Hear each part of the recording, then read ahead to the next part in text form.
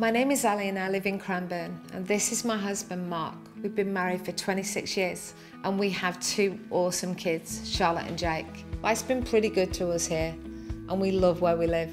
But in 2013 when our son Jake was about to finish school, we had a conversation about his hopes and his future.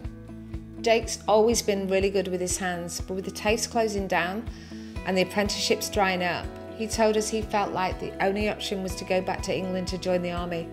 We respect the men and women who serve, but we came to Australia to give our kids a better life.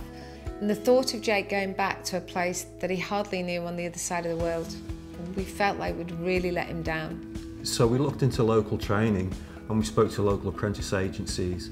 But after Labor was elected in 2014, we saw TAFEs being reopened and funding being restored. It made us hopeful and it made Jake hopeful too. Yeah, he was laughing and joking and talking about his future.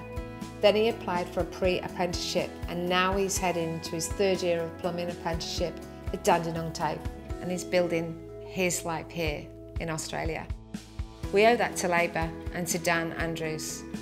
That's why at this election, we're volunteering, making phone calls and knocking on lots of doors because we saw the difference Labor made for us and for our kids.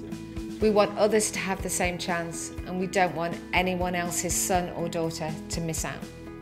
Just like Mark and Ali, I need your voice in this campaign so we can keep on delivering for all Victorians. Join our grassroots movement by volunteering at thisislabor.org slash volunteer.